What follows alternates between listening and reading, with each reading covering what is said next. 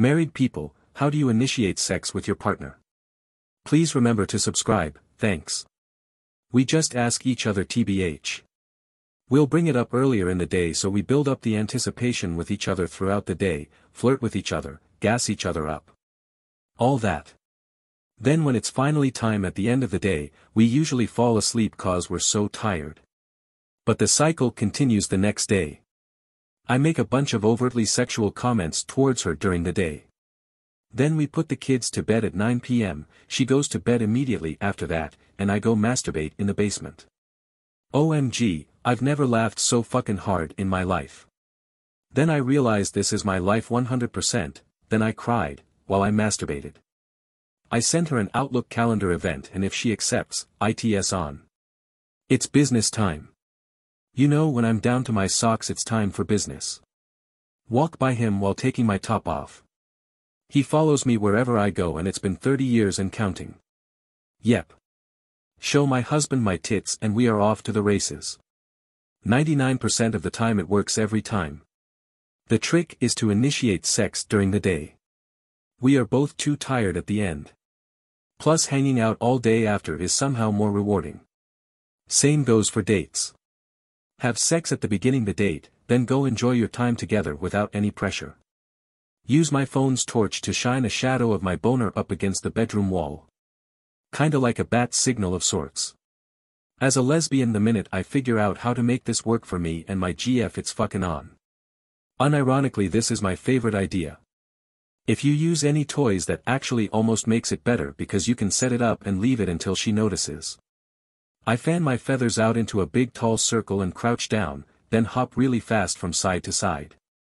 Then I whistle real high and tilt my body back and forth. Then she lets me flap my way over to her and put it in her cloaca. I collect her a big pile of pebbles through the day if she likes them it's on. This penguin could teach some of us a thing or two.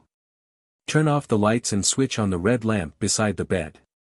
I have a Google routine called Sexy Time that dims the lights and gets music going. She hates it. By saying, you want to snuggle. She on the other hand just jumps on me and starts doing stuff. Edited to add, woke up to my comment blowing up with upvotes. Thanks everyone. Not sure why. We're middle-aged and been together over 20 years and our way of doing things just works for us. Just find what works for you. Everyone is different. Also, not sure of the Homer thing. Been told my attitude is more like Red Foreman's. OMG, wanna snuggle, is universal in our home for, let's have sexy time. A conversation from two nights ago. Me, wanna get naked? Husband, oh, I was about to go have ice cream. Yeah, I'll just have ice cream after. Me, K because it's getting late. Husband, I know, you must go to bed by 10. I'm positive the wife and I have had that same conversation. She needs to go to bed early on work nights, and I typically get the munchies before bed. If I don't hurry though, she'll be fast asleep. LOL. I walk around the house naked and knock things over with my boner till she takes the hint. I call it, the Godzilla. Okay there is a movie in my head and I am loving it. Fuck that present from Aunt Martha, it was ugly anyway and gathered too much dust. Godzilla. When I want some I whistle, when she wants some she come in the room and ask if I whistled. For spontaneous sex, adopt a parrot. Say, let me see your pee-pee. Stand in front of whatever he's paying attention to and take my boobs out. Ask to spoon and then strategically back my ass up against him until he gets the hint. Plan it out earlier in the day like, hey can we maybe bone later if we feel up to it?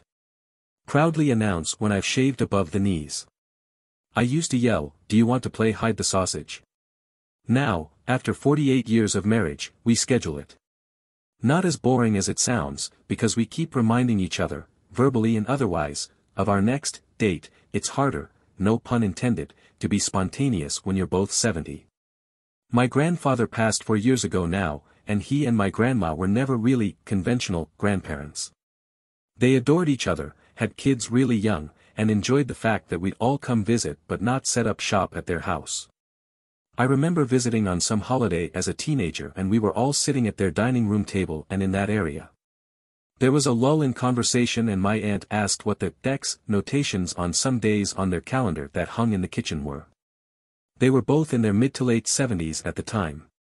They looked at us, looked at each other, giggled, and initially said it was nothing. My aunt kind of prodded and asked, no really, what was it? My grandfather, in front of two of their children, spouses and grandchildren said, if you really want to know, it's when your mother and I play hide and seek, in the bedroom. We all laughed and were slightly grossed out, but as an adult now, shit. If you're having fun at 70, you keep having that fun. Do you, and your partner, and don't lose that spark. Thanks for watching, like and subscribe please.